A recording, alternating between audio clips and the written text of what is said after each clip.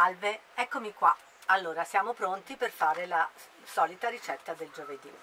Questa volta volevo fare la pitta pugliese. La pitta pugliese si fa con le patate, con il formaggio, le uova e poi in mezzo ci si mette un sugo fatto con la cipolla e il pomodoro, i capperi e le olive. Ho pensato di rimpiazzare capperi e olive con peperone, quindi fare un sugo bello sostanzioso come sapore perché c'è il peperone dentro e fare una pitta di patate con il peperone, con questo sugo. Cos'è la pitta? La pitta sono, è quello che viene chiamato anche il gâteau, però non va chiamato gâteau perché è quello pugliese e quindi è una pitta e poi si fa con le verdure, mentre il gâteau si fa con i formaggi e con il prosciutto. Adesso vediamo quali sono gli ingredienti che ho scelto per fare la pitta.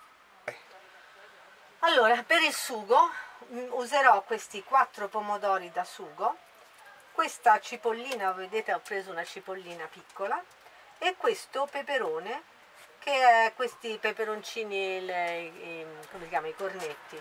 Mi era rimasto un cornetto, ho pensato che poteva benissimo usarlo per fare questa cosa.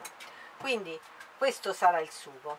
Invece per il ripieno, cioè per la pizza di patate, eh, no questo è il ripieno, per la pizza di patate ho, ho lessato tre patate, le ho schiacciate, ci aggiungerò